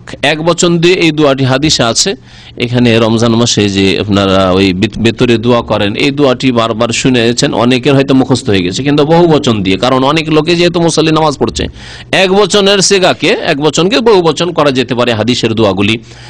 আল্লাহ মাক ফেনিকে আল্লাহ মাক ফেনা আল্লাহ আমাদের জন্য যথেষ্ট হয়ে যাও, যথেষ্ট করে দাও। বেহালালেকা হালাল রুজি আন হারামেকা হারাম থেকে বাঁচি। মানে হারাম থেকে বাঁচিয়ে রাখো এবং হালাল রুজি আমাদের জন্য যথেষ্ট করো। ওয়াগনেনা বেফাদলেকা আম্মান সেওয়াক, এবং তোমার অনুগ্রহ পূর্বক তুমি আমাদেরকে সচ্ছল করে দাও আম্মান সেওয়াক তোমার ছাড়া অন্যদের থেকে। অন্যদের থেকে আমাদের কি করে দাও? অভাব মুক্ত করে দাও, কারও যেন দ্বারস্থ না হয়। তোমার দ্বারে এসেছি, তোমার কাছে চেয়েছি, তুমি আমাকে ঋণ মুক্ত করে দাও, যাতে করে আর কারও দ্বারস্থ না হইতে হয়, কারও মানে কাছে ঋণী না হইতে হয় কারও সামনে যাতে করে নিজের অভাব, অভিযোগ প্রকাশ না করতে হয়। আল্লাহ মাকফেনা বি হালালিকা আন হারামিকা, ওয়া আগনেনা বে ফজলিকা আম্মান সেওয়াক। অথবা আপনি একাই দোয়া করলে বলবেন আল্লাহ মাকফেনি বি হালালিকা আন হারামিকা, ওয়া আগনেনি বে ফজলিকা আম্মান সেওয়াক। হাদিসটি মুসনাদ আহমদে রয়েছে, তিরমিজিতে রয়েছে আল্লাহ নাসরুদ আলবানী হাদিসটিকে হাসান বলেছেন। এম তিরমিজি, কালা আবু ইসা হাজা হাদিসুন হাসানুন গরিবুন। এই হাদিসটি হাসান গরিব মানে হাসান। আরেকটি দোয়া রয়েছে, নাসাইতে রয়েছে এবং ইমাম বখারি রহমতুল্লাহ আলাই তার একটি কিতাব রয়েছে, আল আদাবুল মুফরাদ। তাতে এই হাদিসটি রয়েছে। এভাবে দোয়া এবং হাদিসটি আল্লাহ নাসরুল আলবানী সহি বলেছেন, দোয়া। মানে ঋণ মুক্ত হওয়ার জন্য অনেক লোকের ঋণ আছে এখানে। বিদেশ ঋণ। হয়তো হয়ে গেছে বিদেশ আসতে গিয়ে, অথবা এমনিতে কোনো কাজে ঋণ হয়ে গেছে। তবে ঋণ থেকে বাঁচার জন্য আমি একটি পন্থা এর আগে উল্লেখ করেছি গত আলোচনায়। তা হচ্ছে যে যতটা আপনার আয়, ততটাই ব্যয় করেন, তার একটু কমই করেন। যত- যতটুকু চাদর লম্বা, ততটুকু পা লম্বা করিয়েন, তার বেশি লম্বা করিয়েন না। আপনার পাঁচশো টাকা বেতন আর মোবাইল খরচ হয় তিনশো রিয়াল। খাবেন কত টাকা? বলছে আমি একশো দেড়শো খাই। আবার যদি সিগারেট খোর হয়, বিড়ি খোর হয়, জর্দা খোর, পান খোর হয়, তা তো মুশকিল আর। তাই না? তাহলে কোথা থেকে বরকত আসবে? এক তো হারাম খাচ্ছেন। বিড়ি, সিগারেট, জর্দা, তামাক দিয়ে হারাম খাচ্ছেন। তারপরে আপনার, যদিও মোবাইল, টেলিফোন হালাল, কিন্তু আপনার জন্য পাঁচশো টাকা, সাতশো টাকা বেতন, আর নতুন বিয়ে করে এসছেন। আমি কিছু লোক জানি যাদের পাঁচশো থেকে এক হাজার শুধু মান্থলি বিল আসে, বিবির সাথে, নতুন বিবির সাথে বিয়ে করে এসে দু চার ছয় মাস বা এক বছর হয়েছে নতুন কেন দুই বছর, তিন বছর, পাঁচ বছরের বিয়ে করা লোকের আমার কাছে রেপিড আছে, যারা প্রবাসী, তাদের নাকি পাঁচশো রিয়াল শুধু মাসে স্ত্রীর সাথে টেলিফোনই খরচ হয়। তো এই এই শ্রেণির লোকেরা বেকুফ। তাদের হুঁশ নাই যে আমার চাদর কত লম্বা। দিল পা লম্বা করে পা লম্বা করতে গিয়ে তার ইজ্জতি খুলে যাচ্ছে। পা শুধু খুলে তার ইজ্জতি খুলে যাচ্ছে। লজ্জা স্থান খুলে যাওয়ার আশঙ্কা। খবরদার, এইরকম হলে কখন আল্লাহ পাক ঋণ মুক্ত করবেন না? ঋণ কি করে পরিশোধ করবেন? আপনার যদি পাঁচশো, সাতশো টাকা বেতন হয়, তো প্রথম কথা আমার মোবাইলের প্রয়োজনই নেই। আর যদি আমি রাখি, তারপরে একটি মজার কথা আরও বলি, আমাদের এক দায়ী ভাই বলছিলেন, আজকাল অধিকাংশ লোকের পকেটে মোবাইল কমপক্ষে সাতশো, আটশো টাকা দামের, পাঁচশোর উপরে। অথচ সেই লোকটি ওই মোবাইলে যে ফ্যাসিলিটিগুলি আছে কোনোটাই ইউজ করে না। কি করে? শুধু কল করে হয়তো। না, এর চাইতো কম। কিছু হাউস ড্রাইভার আছে বা এই ধরনের, যারা শুধু কল রিসিভ করে। তারপরে দামি মোবাইল দামি মোবাইল কল রিসিভ করে। তাতে ব্যালেন্স রাখার মতো যোগ্যতা নেই, কিছু নেই। কল করবে, এই ক্ষমতা নেই। খুব বেশি হলে এক দুটি হয়তো মেসেজ ওটাও পাঠাইতে পারে কিনা। আর তারপরে মোবাইল কত? সাত সাতশো টাকা। সবাই রাখে, আর আমি কি করি? একশো, দেড়শো টাকার মোবাইল রাখব। আমি একশো টাকার মোবাইল রাখব মান সম্মান ঘটে যাবে নাকি? একশো টাকা দাম একশো টাকার মোবাইল রাখি। ইচ্ছা করলে হাজার টাকার মোবাইল রাখা যাবে। কি প্রয়োজন? আমার যে কাজটি সেটা এটা দিয়ে হচ্ছে। এইরকম যদি মেজাজ থাকে, কোনোদিন ঋণই হবেন না কারও কাছে। কিন্তু আপনি যদি মনে করেন, না না না, কি বলছেন ওই সেভেন্টি সেভেন্টি থ্রি এসব যদি ওর চাইতে দামি দামি মোবাইল আজকাল নতুন এসে দুই হাজার, তিন হাজার টাকার মোবাইল যে রাস্তায় এই নতুন মোবাইল সেটা নিতেই হবে। অথচ কম্পিউটারের কিছুই বুঝেন না ইন্টারনেটের কিছুই বুঝেন না, আপনাকে ওই রকম মোবাইল রাখতে হবে। কোনোদিন ঋণ মুক্ত হইতে পারবেন না আপনি। কোনোদিন ঋণ মুক্ত হইতে পারবেন না। আল্লাহ ফাকরবুল আলম যেন আমাদেরকে বুঝার তৌফিক দান করেন এবং ঋণ মুক্ত করেন। আনাস বিন মালিক রাজি আল্লাহ আনহ বর্ণনা করছেন যে নবী করিম সাল্লাহ সাল্লাম খুব বেশি বেশি এই দোয়াটি পাঠ করতেন। নবী সাল্লাম। অথচ এই দোয়া পাঠ করতেন, আল্লাহর কাছে আশ্রয় চাইতেন এইসব বিপদ থেকে। ইউকসেরো আইয়াকুল খুব বেশি বেশি এই দোয়া করতেন কি আল্লাহ হাম্মে ওয়াল হাজান আল্লাহ, দুশ্চিন্তা থেকে আমি তোমার আশ্রয় কামনা করছি মানে দুশ্চিন্তা থেকে মুক্ত রাখি। ওয়াল হাজান এবং শোক থেকে শোক থেকে, ওয়াল আজ এবং অসহায় হওয়া থেকে, ওয়াল কাসাল এবং অলসতা থেকে, ওয়াল জুবন এবং কাপুরুষতা থেকে, ওয়াল বকুল এবং কৃপণতা থেকে, সবগুলি কিন্তু ব্যাধি। মুসলিম কাপুরুষ হয় না, মুসলিম কৃপণ হয় না, মুসলিম অলস হয় না। রোজা রেখেছি, সেজন্য সারাদিন শুয়ে, এক তো রাতে শুয়েছেন, আবার ফজর পর শুয়েছেন, জোহরে উঠলেন, জোহরে উঠে আবার জোহরটা কোন রকম পড়লেন, এগুলো মুসল্লি নামাজিদের অবস্থা। তাহলে বেনামাজির অবস্থা যে কি আছে, আল্লাহ পাক জানে। এক শ্রেণির নামাজি লেজি রোজা রাখা মানে সারাদিন ওকে ঘুমাইতে হবে। সারাদিন ঘুমাইতে হবে। জোর পর্যন্ত ঘুমিয়েছে? আর ঘুম ঘুম নিয়ে আসে। আমার এটা অভিজ্ঞতায় বলছি, লোকজনকে দেখে। আমি অত ঘুমাই যদিও ঘুমাই না, কিন্তু লোকজন যাদেরকে দেখেছি ওই রকম একটা না ঘুম দিতে। মোদী ইউনিভার্সিটিতে এক ছাত্র ছিল, খুব প্রসিদ্ধ ছিল ইন্ডিয়ান এক ছাত্র। ও বুধবারে ঘুমাইতো আউজবিল্লাহ আল্লাহ পাকে এইরকম জীবন থেকে পান হাতে রাখে যেন, বলেন আমিন। বুধবারে ক্লাস করে এসে ঘুমাইতো আর শুক্রবারে জমা পড়ার জন্য উঠত। খুব প্রসিদ্ধ ছিল। হ্যাঁ? আল্লাহ পাক জানে এর উত্তর সেই দেবে, আল্লাহ পাকের কাছে। জিজ্ঞাসা করলাম যে তাহলে ও খাওয়া দাওয়া কিছু করতো না? বলতো যে দু চার, পাঁচটা, দশটা জুস আর ওই হালিব দুধগুলো এনে রাখতো, দুধের প্যাকেট এনে রাখতো। ওই ঘুমের অবস্থায় চোখটা খুলে টান দিলে, টান দিয়ে একটা জুস খেয়ে নিলে একটা হয়তো এই করল, কি বলছে একটা দুধ খেয়ে নিল, এই করে। আল্লাহ আকবর আস্তফিরুল্লাহ সেই ছেলে সর্বনাশ। এইভাবে জিন্দগি নষ্ট করেছে আল্লাহ পাকের আজাব দুনিয়ার, যে এখন কোনো জায়গায় চাকরি করার যোগ্যতা নেই। মদিনা কোন রকম আল্লাহ পাঠিয়ে দিয়েছে, কিন্তু মদিনা এসে যখন এই রকম ফাপ আল্লাহর বরদস্ত করেনি, কোনো জায়গায় চাকরি পায় না, ধাক্কা খেয়ে বেড়ায়। কেউ কোনো মাদ্রাসায় নিতে চায় না। এর দ্বারা কি হবে? যে বুধবার থেকে শুক্রবার ঘুমাতে পারে, তার দ্বারা হবে বাকি তো এমন জীবন গ্রহণ করবেন না, আছে এইরকম। নামাজি লোক জোহর পড়ল, আবার শুয়ে গেল। সকালে শুয়েছে জোহর পর্যন্ত ফজর থেকে কত ঘণ্টা হয়ে যায়? ফজর পাঁচটা থেকে হইলে সাত ঘণ্টা হয়। আরে ছয় ঘণ্টা ঘুম যথেষ্ট, আপনার তো সকালে সাত ঘণ্টা হয়ে গেছে। রাত্রে যদি দু ঘণ্টা হয়ে থাকে তো ওই সাত আর দুই নয় ঘণ্টা হয়ে গেছে। আবার জোহর পর দিল ঘুম ঘুম ঘুম টেনে নিয়ে এলো। আবার আসরে উঠল, আসরে উঠে আবার ভালো লাগে না। দিল আসর পর আবার একটা ঘুম।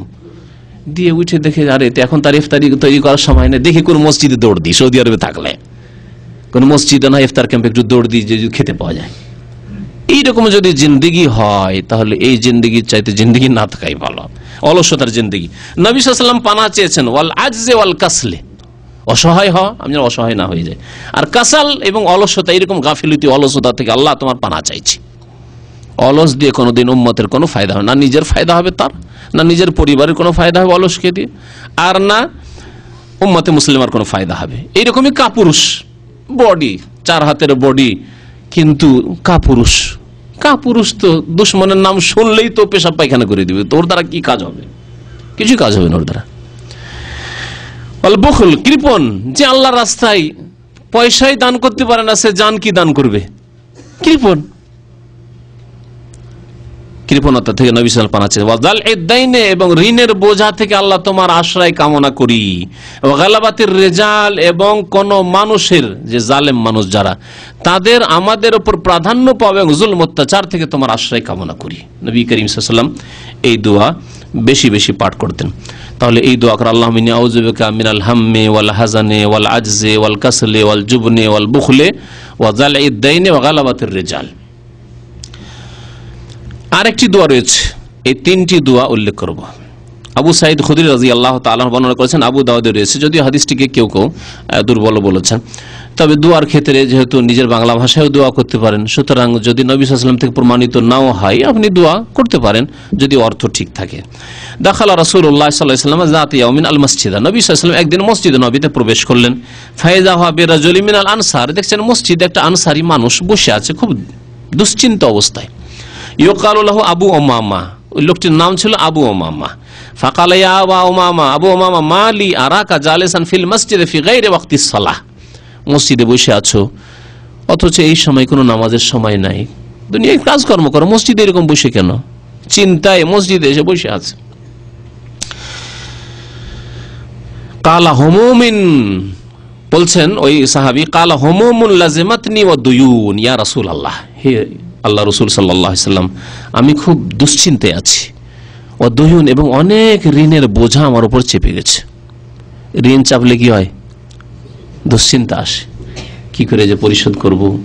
আর যদি পরিশোধ না করতে পারি, তো মানুষকে কি জবাব দেব? আর যদি বিশেষ করে যাদের, যারা টাকা পাবে, তারা যদি একটু শক্তিশালী হয়, তাহলে জানের ভয়। কোথায় যে গলায় গামছা দেবে হ্যাঁ ফাঁস দেবে, কোথায় যে ধরে ধাক্কা ধাক্কাধাক্কি করবে, হাটে, বাজারে, রাস্তাঘাটে, কোথায় যে কত অপমান, অপদস্থ হইতে হবে এইসব চিন্তায় পরেশান। মার খেতে হবে, ইত্যাদি ইত্যাদি। বলছেন হোমমুন লাজেমাতনি অদয়ুন হে আল্লাহ রসুল সাল্লাহ আলী সাল্লাম বড় দুশ্চিন্তায় আছি এবং অনেক ঋণের বোঝা আমার উপর চেপে গেছে। কালা আফালা ওয়াল্লে মোকা কালামান, তোমাকে কিছু কথা শিখে দেব নাকি? এজা আন্তা কুলতাহু, যদি এই দোয়াগুলি তুমি বলো আল্লাহ পাকের দরবারে আজহাব আল্লাহ আজ্জাওয়াজাল হাম্মাকা ওয়া কাজা আনকা দাইনাকা। তাহলে তোমার দুশ্চিন্তা আল্লাহ পাক দূর করে দেবেন এবং তোমার ঋণ আল্লাহ পাক পরিশোধ করে দেবেন। মানে ঋণ পরিশোধের আল্লাহ পাক তৌফিক দেবেন। কালাকুল তো বালাই রাসুল আল্লাহ অবশ্যই বলে দেন, শিখিয়ে দেন, দোয়া করব আল্লাহ পাকের কাছে। কালাকুল এজা আসবাহতা, যখন সকাল হবে এই দোয়া পড়বে ওয়াইজ আমসাইতা, সন্ধ্যায় এই দোয়া পড়বে। তাহলে সকাল, সন্ধ্যা, বারবার করে যদি এই দোয়া করে কোনো মানুষ, এবং দোয়া করার আদব হচ্ছে কমপক্ষে তিনবার করে দোয়া করা। নবী সাল্লাম কানাইজা দা দা সালাসান হাদিস আছে। যে কোনো দোয়া যখন আল্লাহ পাকের কাছে করতেন, নবী সাল্লাম তিনবার করে বলতেন, যেমন আপনি দোয়া করেন আল্লাহ মাক ফিরলি আল্লাহ মাক ফিরলি আল্লাহ মাক ফিরলি আল্লাহ তুমি আমাকে মাফ করে দাও, আল্লাহ তুমি মাফ করে দাও, আল্লাহ তুমি মাফ করে দাও। অবশ্যই মাফ করবেন আল্লাহ পাকের বলেন আল্লাহ মার হামনি আল্লাহ মার হামনি আল্লাহ মার আল্লাহ তুমি রহম করো। এইভাবে, আল্লাহ আমার জুখনি আল্লাহ বারিক লানা ফিরিজ খেন আল্লাহ আমার রিজিকে বরকুত দাও, আল্লাহ আমার রিজিকে বরকুত দাও, আল্লাহ আমাকে কাজের ব্যবস্থা দেওয়া আল্লাহ আল্লাহ আমাকে কাজের ব্যবস্থা দেওয়া আল্লাহ। এইভাবে তিনবার করে দোয়া করো নবী করিম সাল্লাহ সাল্লামের সুন্নত। দোয়া শিখিয়ে দিচ্ছেন রসুল্লাহাম সকাল সন্ধ্যা পাঠ করার জন্য। আল্লাহ হাজানে কাসালে জুবনে ওয়াল গালাবাতি দাইনে রেজাল। ওখানে ছিল ওয়া গালাবাতি রেজাল, এখানে মিন গালাবাতি দাইন রেজাল। কাছাকাছি দোয়া। কালাফা ফালতু আমি এই দোয়া সকাল সন্ধ্যা বারবার করে করতে থাকলাম। আবু ওমামা রাজি আল্লাহ তালাহ বলছেন ফাজহাব আল্লাহ হাম্মি ওয়া কাজা আন্নি দেয়নি তারপরে আল্লাহ খুব তাড়াতাড়ি আমার দুশ্চিন্তা দূর করে দিলেন এবং আমার ঋণ আল্লাহ পাক পরিশোধ করার আল্লাহ পাক আমাকে তৌফিক দিলেন। এই দোয়াগুলি করবেন। দোয়া যদি আরবিতে মুখস্থ নাও থাকে সবগুলি, তো নিজের ভাষায় দোয়া করেন আপনি। আল্লাহ আমাকে ঋণ মুক্ত রাখো। আল্লাহ তুমি আমাকে ঋণ মুক্ত রাখো। আল্লাহ তুমি আমাকে ঋণ মুক্ত রাখো। ঋণ প্রথম নেবই না, আমি ঋণ মুক্ত থাকব। তারপরে যদি কখনো নিতে বাধ্য হইতে হয়, তাহলে এমন নয় যে আমি একেবারে খুব বড় লোক হওয়ার স্বপ্ন দেখে ঋণ নেব না। আমার কাঁচা বাড়ি আছে, যথেষ্ট রয়েছে। হ্যাঁ নতুন গাড়ি কেনার জন্য ঋণ নেব। নতুন বড় বাড়ি করার জন্য ঋণ নেব। না, আমার এত টাকা ইনকাম নেই, আমি এই করব না। আমার এক বিঘা জমির পয়সা আছে, আমি পাঁচ বিঘা জমির বাইনা দিয়ে বসে আছি। পাঁচ বিঘা জমি কিনবো সেই জন্য এখন ঋণ করতেই হচ্ছে। আমার কাছে দশ হাজার রিয়াল আছে, কিন্তু চল্লিশ হাজার টাকা জমি কিনে বসে আছি। এইরকম বেকুপি করলে কোনোদিন ঋণ মুক্ত হওয়া যাবে না। আমার যতটা পয়সা আছে ততটাই কিনবো। তার বেশি আমি কিনবো না। কেন অপরের পয়সা নিয়ে আমি অপরের কাঁধের উপরে পা দিয়ে তাদেরকে সিঁড়ি বানিয়ে উপরে উঠবো? এই নীতি ঋণ মুক্ত কোনোদিন হইতে দেবে না। সব সময় আল্লাহ পাক যতটুকু দিয়েছেন তাতেই সন্তুষ্ট থাকতে হবে, তাতে নিজের পরিতুষ্টি নিয়ে আসতে হবে, তাতে কানাত করতে হবে। ঋণ সম্পর্কে বলছিলাম যে ঋণ, নবী করিম সাল্লাম ঋণ সম্পর্কে খুব সতর্ক করেছেন। একজন সাহাবির ঘটনা, সাদ ইবনুল আথওয়াল বলছেন যে আমার ভাই মারা গিয়েছিল। ও তারাকা সালাসা মেয়াত দিনার ও তারাকা উলদান শেখারান তিনশো দিনার ছিল, ছোট ছোট বাচ্চা ছিল ফারাদ তানুন ফিকা আলিহিম এতিম ছিল আমার ভাইয়ের সব ছেলেরা। তো আমি চাইলাম যে তার, তাদের ব্যয় বহন আমি করব। ফাঁকা রসুল উল্লাহাম আখা মাহবুসুন বেদেইনি ফাঁক দিয়ানো নবী সাল্লাম বলেন যে, তোমার ভাইয়ের ওপর ঋণ আছে, সুতরাং ঋণ পরিশোধ করো আগে। তুমি ইয়াতিম ভাতিজাদের, ভাস্তেদের দেখাশোনা করবে, তাদের ব্যয় বহন করবে, তার আগে তোমার ভাইয়ের ঋণ আছে, সে ঋণ পরিশোধ করো। আজকালকার জামানে ঋণ থাকলে অ্যাভয়েড করবেন ঋণকে। ঋণের কোনো পরোয়া নেই। ভালো ভালো স্কুলে আপনি ছেলেকে পড়াচ্ছেন, মাসে পাঁচ হাজার, দশ হাজার টাকা খরচ করে ইংলিশ মিডিয়াম পড়ে আমি ডাক্তার, ইঞ্জিনিয়ার তৈরি করব, অথচ আপনার উপর ঋণ আছে। আপনার ঋণেরই খবর নাই, তো আপনার ভাইয়ের ঋণকে পরিশোধ করবেন? নবিসাল বললেন যে, তোমার ভাইয়ের ঋণ আগে পরিশোধ করো। কালাফা জাহাব তো ফাঁকা যাই তো আনহো। আমার ভাইয়ের ঋণগুলি পরিশোধ করে দিলাম। ওয়ালাম তাবকা ইল্লা ইমরাতুন তাদ্দাই দিনারাইন। ওয়ালাইসাত লাহা বাইয়ানা। সমস্ত ঋণ, যতগুলি দাবিদার ছিল, ঋণের সবগুলি পরিশোধ করলাম। যেগুলি জানা ছিল বা তাদের কাছে সাক্ষী প্রমাণ ছিল যে হ্যাঁ পাবে আসলে আমার ভাইয়ের কাছে, তাদের পরিশোধ করলাম। একজন মহিলা আসলো, আসার পরে দুই দিনার মানে দুইটি স্বর্ণ মুদ্রার দাবি করল যে, তোমার ভাইয়ের কাছে দুটি দিনার পাবো। কিন্তু ওই মহিলার কোনো সাক্ষী প্রমাণ নেই। ইচ্ছা হলো এই সাদের যে, সাক্ষী নেই আবার দেবো কেন? সাক্ষী নেই দেবো কেন? দেব না। এই মহিলা হয়তো মিথ্যা কথা বলছে। নবী করিম সাল্লাহ সাল্লামকে জিজ্ঞাসা করে, ইয়া রাসূলুল্লাহ, একটি মহিলা বলছে, তোমার ভাইয়ের কাছে দুই দিনার পাবো আর ওর কাছে কোনো সাক্ষী নেই, আমি কি করব? নবী সাল্লাম বলছেন, আতিহা দিয়ে দাও। ফাইন্নাহা সাদাকা, যদি ঋণ, যদি আসলে পাই, তো তার হক। আর যদি নাও পাই মিথ্যা কথা বলে, তুমি অবশ্যই সাদকার নেকি পাবে। উভয় অবস্থায় তুমি সাদাকার নেকি পাবে। সুতরাং যদিও সাক্ষী প্রমাণ না থাকি, তুমি ঋণ পরিশোধ করে দাও। এর থেকে কি শিখতে পারলাম? মুসনাদ আহমদের হাদিস। আমাদের এই রকম অনেক সময় হয়ে থাকে। এসে আপনার আব্বা মারা গেছে হঠাৎ করে, এসে গ্রামের কোনো লোক এসে বলছে, তোমার আব্বার কাছে দশ হাজার টাকা পাবো। আমাদের লোকেরা কিন্তু দিতে চায় না। না, আমাদের জানে না, আমাদের তো বলেনি আমার আব্বা কোনো দিন আমার আম্মাকে জিজ্ঞেস করে দেখি, মা, পাবে কেউ- টাকা পয়সা আব্বার কাছে? না, কিছু বলেনি তো। না, আমাদের দেশের অধিকাংশ লোক তো দায়িত্বহীন। মানুষের ঋণ নিয়ে যে লিখে রাখবে, অথচ লিখে রাখার কথা বলা হয়েছে, লিখে রাখবে। ওসিয়ত যে আমি যদি আমার কিছু হয়ে যায়, আমার কাছে অমুক অমুক এত টাকা পাবে, আমি অমুকের কাছে এত টাকা পাবো? লিখে রাখতে হবে এগুলি, না লিখে রাখে না, দায়িত্বহীন। তারপরে বলেও রাখে না যে আমার কাছে এত টাকা লোকেরা পাবে, অমুক অমুক ব্যক্তি এত টাকা পাবে। বলে রাখলে অনেক সময় মানুষ ভুলে যায়, বলেও রাখে না। আজকাল আমাদের দেশের মানুষরা দিতে রাজি নাই, না দেবে না। অথচ নবী করিম কি বলছেন? কোন সাক্ষী না আতিহা ফাইন্নাহা সাদাকা, দিয়ে দাও সাদাকা। উভয় অবস্থায় সাদাকা। সে যদি আসলে পায়, তবুও সাদাকা, আর যদি নাও পায়, তোমার জন্য সাদাকা। ঋণ নেওয়ার পরে যারা ঋণ গ্রহণকারী, তাদেরকে আল্লাহকে ভয় করা উচিত। যে ঋণ নিলেন, নেওয়ার পরে সচ্ছলতা আছে, দিতে পারবেন আপনি। তারপরে যদি না দেন, একে নবী করিম জুলম বলে আখ্যায়িত করেছেন।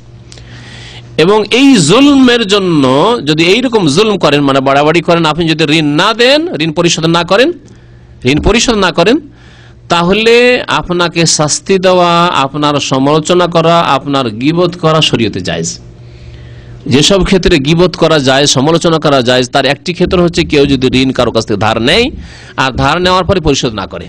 তাহলে বলতে পারবে যে শহীদ জামান সাহেব ধার নিয়েছেন, অমুক সিদ্দিক সাহেব ধার নিয়েছেন কিন্তু দিচ্ছেন না।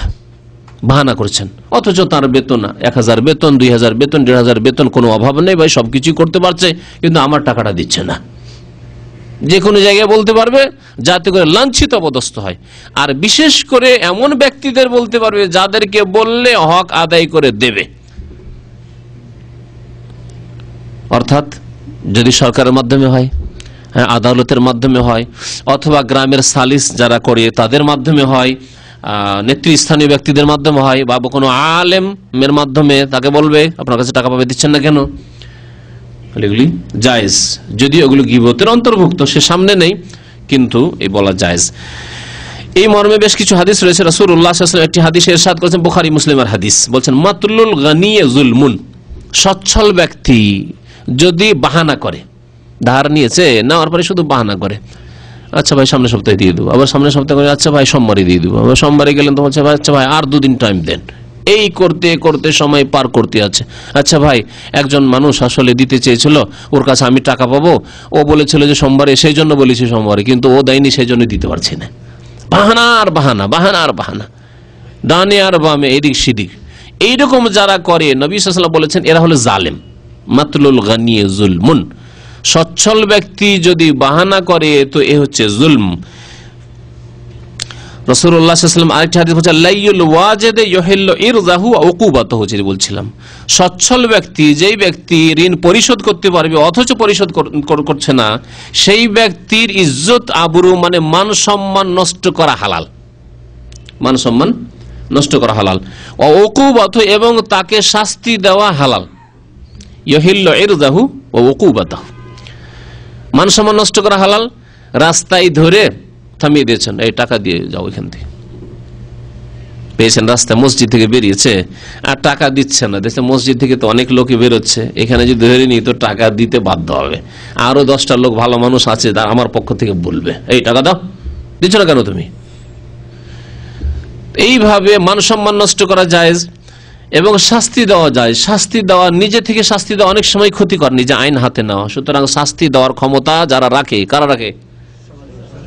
শাসক শাসক, তারা শাস্তি দেবে। অথবা আমাদের দেশে যে গ্রাম গ্রাম্য সালিসের মাধ্যমে যদি এমন কিছু শাস্তির মাধ্যমে অথবা চাপ সৃষ্টির মাধ্যমে যদি ঋণ আদায় করে নেওয়া যায়, তার মানে ক্ষতির দিক না থাকে। কারণ অনেক সময় আজকাল সালিস করতে গিয়ে আবার ও কেস করে বসে আছে। যে গ্রামের লোকের, এলাকার লোকের আমার জুলুম করেছে। অন্যায় তার তাদের উপর গ্রামবাসীর উপরে কেস চাপিয়ে দিল। আজকালকার অবস্থা আরও খারাপ। জি, তো যাই হোক, শাস্তি দেওয়া যায় এইরকম যে শরীয়ত সম্মত যেগুলি রাস্তা রয়েছে।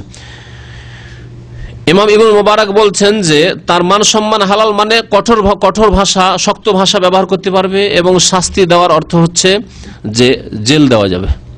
আর সৌদি আরবে, আলহামদুলিল্লাহ, ইসলামিক যে অনুশাসন রয়েছে এখানে এই শাস্তি রয়েছে। একদিন আমাকে এক ভাই টেলিফোন করছে যে আমার কপিলকে পাঁচ হাজার রিয়াল তার কাছে, কেউ পেয়ে তো দিতে পারছে না সেই জন্য জেলে ঢুকিয়ে দিচ্ছে। অথচ সে বড় মোয়াসার মালিক। বুঝতে পারছেন? তো, আলহামদুলিল্লাহ, এইরকম যদি হয় যে কেউ পাবে, দু হাজার রিয়াল পাবে আর দিচ্ছে না, সরকারের ঘরে কেস করলেন, সরকারের লোক এসে তাকে উঠিয়ে নিয়ে গিয়ে জেলে ঢুকিয়ে দিল।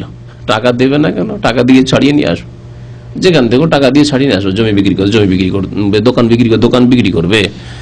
যা বিক্রি করতে হয় করবে, যেখান থেকে হোক সে ছুটি হাসিল করবে। রওয়াহ আবু দাউদ নাসাই হাদিসটি সাহি। ঋণ যারা গ্রহণকারী, ঋণ নিচ্ছে, তাদের সম্পর্কে অনেক কিছু বলা হলো। ঋণ দাতা যে ঋণ দেবে, এরও বড় নেকি আছে। ঋণ দিলে বড় নেকি আছে। নবী করিম সাল্লাহ সাল্লামের হাদিস বাই হাকির হাদিস, হাদিসটিকে আল্লাহ নাসর আলবানী সহি বলেছেন। মান আকরাজা ওয়ারিকান মার্রাতাইনি, কোনো ব্যক্তি যদি কোনো চাঁদি মানে সেই জামানে চাঁদির টাকায় ছিল, রূপার টাকা, কোনো টাকা যদি দুইবার ধার দেয়, আপনার কাছে এক হাজার রিয়াল আছে, একবার ধার দিলেন আর একবার ধার দিলেন অন্য লোককে। দুইবার যদি ধার দেন, কানা কাঈদ লে সাদাকাতিন মাররা, একবার দান খায়রাত, সাদকা করার সমান নেকি পাবেন আপনি। হয়তো আপনি দশ হাজার রিয়াল দান করতে পারবেন না। কারণ দশ রিয়াল দান করা আপনার পক্ষে সম্ভব নয়, আপনার অনেক প্রয়োজন রয়েছে। কিন্তু দশ হাজার রিয়াল আপনি ধার দিতে পারবেন। দুইবার দশ হাজার রিয়াল ধার দিয়েছেন, আর তারপর টাকা আপনার কাছে ফিরেও চলে এসছে। ওই দশ হাজার ফিরে আসবে, দশ হাজারে সাড়ে দশ হাজার চলবে না। আজকাল ধার দেবে কারা? যাদের এরকম আশা আছে, কিছু পাবো বেশি। অথবা শর্ত করে, সুদি ব্যবসা। সুদি ব্যবসা, স্যালারি কিনার আজকাল সুদি ব্যবসা চলছে। হ্যাঁ বন্ধকের সুদি ব্যবসা সুদ আর সুদ চারিদিকে সুদ। এক হাজার টাকার স্যালারি কালকে একজন লোক জিজ্ঞেস করছে এক হাজার টাকার স্যালারি আমি কিনবো আটশো টাকায়।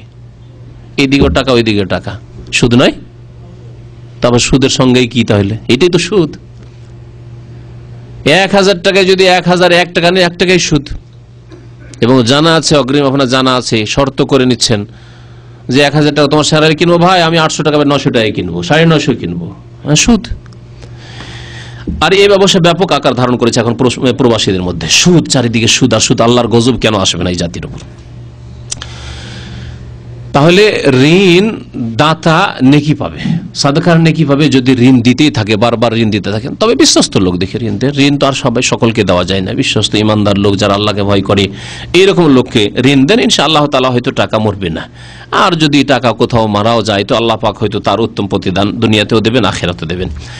ঋণ দেওয়ার পরে আল্লাহ পাক রব্বুল আলমিন সুদের বিধানগুলি কোরআনে কারিমে যেখানে উল্লেখ করে সুরায় বাকারায়, সেখানে উল্লেখ করেছেন যে, ঋণ দেওয়ার পরে যদি সচ্ছল হয়, তাহলে তো সে দেবে। আর যদি সচ্ছল না হয়, আর সময় এসে গেছে, তিন মাস সময় দিয়েছে তিন মাস সময় চলে এসেছে। আল্লাহ পাকের সাথে আইন ফানাজেরাতুন ইলামাই সারা যদি কোনো ব্যক্তি অসচ্ছল হয়, ওয়াইন কানাজু ওসরা, অসচ্ছল ব্যক্তি হয়, সংকটে, আর্থিক সংকট তার। ফানাজে রাতুন এলামাই সারা তাহলে তাকে সচ্ছল হওয়া পর্যন্ত তুমি অবসর দিয়ে দাও। অবসর দিয়ে দাও। তাহলে প্রথম কথা, আল্লাহর হস্তে ঋণ দেন। আল্লাহ সন্তুষ্ট ওয়াকরিজুল্লাহ কারজান হাসান। তারপরে ঋণ দিয়ে আপনি সময় নির্ধারিত করেন, সেই সময় আপনি চান সেও দেবে। যদি সে না দিতে পারে, তাহলে সে নিজে এসে বলবে যে, ভাই, আমি দিতে পারছি না, সময়টা আমার বাড়িয়ে দেন। আপনি সময় বাড়িয়ে দেন ফানাজাত তারপরে সময় বাড়িয়ে দিলেন, আরও তিন মাস, ছয় মাস, এক বছর, দেড় বছর, দুই বছর বাড়িয়ে দিলেন, কিন্তু দেখা যাচ্ছে লোকটি আরও অসহায় অবস্থা। ঋণ পরিশোধ করতে পারছে না। আল্লাহ বলছেন ও আন্তাসাদ্দাকু খাইরুল্লাকুম কি করো? তৃতীয় স্তর এটা। প্রথম স্তর হচ্ছে, ঋণ দেন মানুষের এহসান করে, ঋণটা ফিরিয়ে নেন। যথাসময়। দ্বিতীয় স্তর না, যথাসময় সে ফেরাতে পারল না, আপনি অবসর দেন। আরও ছয় মাস, এক বছর, যতদিন পারেন আপনি অবসর দেন। তারপরে দেখলেন না, অবসর দিয়েও এই লোকটি ঋণ পরিশোধ আর করতে পারছে না। তৃতীয় স্তরে কি করবেন? ও আন্তাসাদ্দাকু খাইরুল্লাকুম তুমি তাকে দান করে দাও, তোমার জন্য কল্যাণকর হবে। ইন কুন্তুম তালামুন যদি তোমরা জানো যে আল্লাহর কাছে তোমাদের জন্য কি মহাপুরস্কার রয়েছে। সুরে বাকারা, আয়াত নম্বর দুইশো আশি। নবী করিম সাল্লাহ আলী সাল্লাম থেকে বোরাইদা আসলামী রাজি আল্লাহ তালাবান করছেন, নবী সাল্লাম বলেছেন, মান আনজারা মুসেরান কোন ব্যক্তি যদি অসচ্ছল ব্যক্তিকে অবসর দেয় টাকা দিতে পারছেন না আপনি? ঠিক আছে, আর কতদিন সময় লাগবে? বলছে, ভাই, আর ছয়টা মাস দেন সময়। ছয়টা মাস দেন, এক বছর দেন, তিন মাস দেন, ইত্যাদি। কান আল্লাহ বেকুল্লে ইয়মিন সাদাকা। প্রত্যেক দিনের বিনিময়ে সে সাদাকার নেকি পাবে। একদিন করে আপনি অবসর দিলেন, প্রত্যেক দিন আপনি সাদাকার নেকি পেতে আছেন। অমান আনজারাহ বাদা হিল্লেহি, আর কেউ যদি সময় এসে যাওয়ার পরে, এক তো দিলেন যে ধার দিয়ে রেখেছেন তাতে আপনি সাদকার নাকি পাচ্ছেন। তারপরে সময় চলে এসেছে, তিন মাস সময় ছিল, তিন মাস সময় হয়ে গেছে। তারপর মানে চাওয়ার অধিকার আছে, তাকে দিতে হবে, কিন্তু তারপরে আপনি অবসর দিয়ে দিলেন, ঠিক আছে, অসুবিধা নাই, আপনার যখন হয় তখন দিয়েন। কান আল্লাহ মিসলহু ফি করলে অমিন সাদাকা। প্রত্যেক দিন সেই ব্যক্তি সাদাকার নেকি পেতে থাকবে। ইবনে মাজার হাদিস। আবু রাজি আল্লাহ তালা আর একটি হাদিস বর্ণনা করেছেন, মান আনজারা মোসান কোন ব্যক্তি সংকটে লিপ্ত, সংকটে নিমজ্জিত থাকা ব্যক্তি বা অসচ্ছল ব্যক্তি কেউ যদি অবসর দেয় আউ ওয়াদা লাহু, অথবা ডিসকাউন্ট করে দেয়। তাহলে দুটি, আরেকটি পদ বাড়লো এখানে। একটা হচ্ছে অবসর দেওয়া। অবসর দেওয়ার পরে দেখলেন যে লোকটা দিতে পারে না। তো কি বললাম?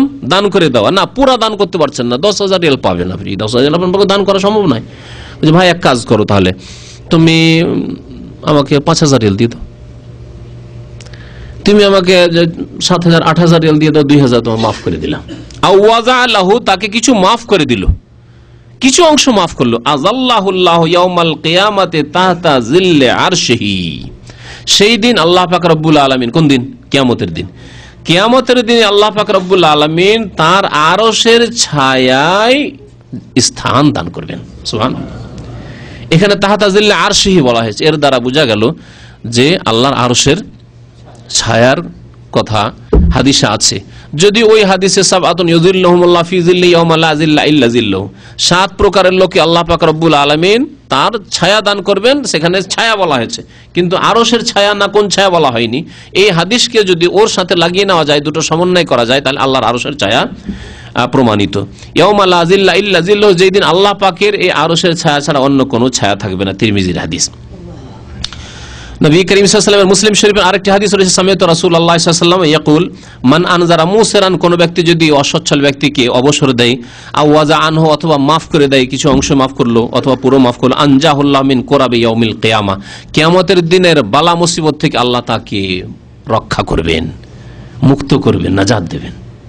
কেয়ামতের দিনে যে বালা মুসিবত হবে যে ঘামে হাবুডুবু করবে যেই দিন জবাবদাহি করতে হবে সেই দিন এইসব জবাবদাহি থেকে আল্লাহ পাক তাকে মুক্ত মুক্ত করবেন। কিন্তু শর্ত হচ্ছে আল্লাহ পাকের ফরজ হজম আদায় করা মুসলমান হইতে হবে। প্রথম মুসলিম হইতাম মুশে কবর পূজারি হইলে হবে না। আর তারপরে মুসলিম হওয়ার পরে নামাজি রোজাদার আহ, জাকাত দাতা এইসব হইতে হবে। মানে ফরজ আদায় করার লোক হইতে হবে।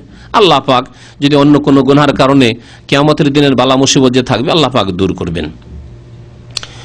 কর্জা দেওয়ার পর, ঋণ দেওয়ার পরে যদি এইরকম লোভ লালসা থাকে, যে আমি ওকে ঋণ দিয়ে রেখেছি, সুতরাং আমার দাবি আছে, ওর কিছু ব্যবহার করব। গাড়িটা আছে, যখন তখন, এই চাবিটা দেন হ্যাঁ ও লজ্জাতে কিছু বলতেও পারছে না হ্যাঁ আচ্ছা ঠিক আছে হ্যাঁ। যদি এই রকম আশা রাখে, অথবা এই রকম স্বার্থ রাখে যে আমি ধার দিয়ে রেখেছি, সুতরাং তার কিছু ব্যবহার করব। যে কোনো কিছু ব্যবহার করুক। গাড়ি ব্যবহার করা, আজকাল গাড়ির জামানা, কিন্তু নবী সালামের জামানায় হয়তো কারও একটা ঘোড়া আছে, ঘোড়ার পিঠে চড়ে হাঁটলো তা। হ্যাঁ উঁট আছে, দাও, তোমার উঁটটা দাও। হ্যাঁ। অথবা এই ধরনের যে কোনো জিনিস ব্যবহার করা, কাপড় চোপড় ইত্যাদি, সামান, দাবি যেহেতু তোমাকে ধার দিয়ে রেখেছি, তুমি আমার কাছে ঋণী তাহলে এগুলিও সুদে সামিল। এগুলি হচ্ছে প্রশ্ন পরে। আনাসিন মালিক রাজি আল্লাহ তালানহ বর্ণনা করছেন যে তাকে এক লোক জিজ্ঞাসা করল যে, আর রাজল মিন্না ইউকরেজু আখাহুল মাল্লাহ আমাদের মধ্যে কেউ কেউ ধার দিয়ে থাকে, ফাইয়ুহদি লাহু। তখন তাকে উপহার দেয় গিফট দেয় উপঢৌকন দিত না, কিন্তু দিচ্ছে কিসের জন্য? ধার দিয়েছে সেই জন্য আগে থেকে দেওয়ার রীতিনীতি ছিল না। বাংলাদেশ থেকে আসলেন, একটা লুঙ্গি নিয়ে আসলেন। নিয়ে আসার পরে মুজাহিদকে দিচ্ছেন। আগে কোনোদিন দেননি, কিন্তু এবার কেন দিচ্ছেন? যখন ছুটি যান, তখন আপনাকে দুই হাজার ধার দিয়েছে সেই জন্য বুঝলেন? কি হবে এটা? সুদ? হ্যাঁ আগে থেকে যদি এরকম থাকে মানে আগে থেকে আপনার সম্পর্ক এরকম আদান প্রদান হাদিয়া দেওয়া সম্পর্ক আছে, তাহলে ঠিক আছে। কালা কালা রসুল্লাহ আনাসিন মালিক বললেন যে রসুল্লাহ বলেছেন, এজা আকরাজা আহাদকুম কারজান কোন ব্যক্তি যদি তোমাদের কাউকে ঋণ দেয় ফা আহাদা লাহু, ঋণের বিনিময়ে যদি ঋণ দেওয়া আছে, সেই জন্য তাকে উপঢৌকন দিচ্ছে, হাদিয়া দিচ্ছে, উপহার দিচ্ছে। আও হামালাহু আলাদা বা অথবা আসেন, গাড়িতে চাপেন, লেমুজিন ভাই এখানে ইয়ে চালায়, ভাড়ার গাড়ি চালায়, গাড়িতে কোনোদিন ফ্রি উঠাইতো না, কিন্তু যে এক হাজার রিয়াল, পাঁচশো রিয়াল ধার দিয়েছেন, তারপর থেকে ওর ফ্রি। কত জায়গায় দশ দশ দশ দশ করে অনেক দশ হাসিল করে নিয়েছেন। এখান থেকে আবদুল্লাহ ফাওয়াদ দশ লাগতো, ওখানে দশ হাজার বাঁচলেন, আবার আসলেন টেলিফোন করলেন, ভাই, অমুক জায়গায় আমি আছি। কারণ ও তো আসতে হবে লজ্জা। পাঁচশো টাকা তার খেয়ে আছি। হ্যাঁ দিতে পারছি না। আও হামালো আলাদ্দাব্বা তার যানবাহনে চাপলো। ফালা ইয়ার কাবহা বা চাপাতে চাইলো। ফালায় খবরদার, তার সওয়ারিতে চাপবে না, তার গাড়িতে চাপবে না। ওয়ালা ইয়াকবালহু, এবং তার গিফট উপহার কবুলও করবে না। তবে আগে থেকে যদি এইরকম থাকে, আগে থেকে তার গাড়িতে চাপতেন মাঝে মাঝে। আগে থেকে তার জিনিসপত্র ব্যবহার করতেন, কখনো তার ঘড়ি ব্যবহার করতেন, কখনো তার কোনো কিছু ব্যবহার করতেন, তাহলে কোনো অসুবিধা নেই। ইবনে মাজার হাদিস। আর একটি হাদিস দিয়ে শেষ করে দেব। নবী করিম সাল্লাহ আলী সাল্লাম কিয়ামতের দিনে সবচাইতে বেশি গরিব সবচাইতে বেশি সর্বহারা কাকে বলেছেন? হ্যাঁ? কে? যার নেকি থাকবে না? নেকি নিয়ে গেছে অনেক। কিন্তু মানুষের হক নষ্ট করে গেছে। তার মধ্যে একজন হচ্ছে ধার। ধারটা নিয়ে দেশে চলে গেছে। একে ভিসা দেবো, ওকে আর কিছু করে দেবো। ভাই, আমাকে দাও পার্টনারশিপ তোমাকে দেব। আমি একটা ব্যবসা করেছি, তো আমার কাছে তো টাকা পয়সা নাই ভাই, তো তুমি যদি কিছু টাকা পয়সা দাও, এই করে অনেকের কাছে টাকা পয়সা নিয়ে এসে চলে গেছে। অথচ মুসল্লি নামাজের অভাব নেই, রোজার অভাব নেই, হজের অভাব নেই, জাকাতের অভাব নেই, আর আরও মাতা পিতার সেবা খুব করে, এই ধার করা টাকা দিয়ে খুব মাতা পিতার সেবা করে দেশে। সর্বহারা নবী সাল্লাম মুফলেস বলেছেন। মুফলেস মানে যার কাছে একটি পয়সাও থাকে না। একে মুফলেস বলা সর্বহারা। আবু হরাজি আল্লাহ তালন এই হাদিস বর্ণনা করেছেন মুসলিম শরীফের হাদিস। আন্না রসুল আল্লাহ সাল্লাম কাল আতাদুরুনা মানিল মুফলেস? নবী একদিন জিজ্ঞাসা করলেন, তোমরা জানো কি যে সর্বহারা কে? সর্বহারা কে? সাহাবিরা নবী সাল্লাম বলেন যে কেয়ামতের দিনে প্রথম জিজ্ঞাসা করেছেন যে সর্বহারা কে? সাহাবিরা দেখছেন দুনিয়াতে সর্বহারা কে? আল মুফলেসফিনা মাল্লাদির হামাওয়ালা মাতা। আমাদের মাঝে সর্বহারা ওই ব্যক্তি, না যার কাছে একটা পয়সা আছে, আর না কোনো মাল সামান আছে, বাড়িতে খাবার নেই, আর টাকা পয়সাও নেই যে হোটেলে খাবে। তার কাছে কিছুই নেই। না বাড়িতে চাল আছে, না ডাল আছে, না শাকসবজি আছে, কিছুই নেই। সর্বহারা, পকেটে পয়সাও নেই। সর্বহারা ওই ব্যক্তি। আল মুফলেসফিনা হামাওয়ালা মাতা। নবী করিম সাহেব বললেন যে, না, একে উদ্দেশ্য করিনি। এ তো দুনিয়ার সাময়িক হয়তো সর্বহারা। হতে পারে কালকে তার কাছে পয়সা হয়ে যেতে পারে। ইন্নাল মুফলিসা মিন উম্মতি মাইয়াতি ইয়াউমাল কিয়ামাতি বিসলাতিন ওয়া সিয়ামিন ওয়া যাকাতিন। আমার উম্মতের মুফলিস সর্বহারা ওরা, যারা কিয়ামতের দিনে অনেক নামাজ নিয়ে আসবে। পাঁচ ওয়াক্ত নামাজ ছাড়েনি। সিয়ামিন, রোজা, কোনোদিন রমজান মাসে রোজা ছাড়েনি। ওয়া যাকাতিন যাকাতও দিয়েছে, পয়সাওয়ালা লোক ছিল।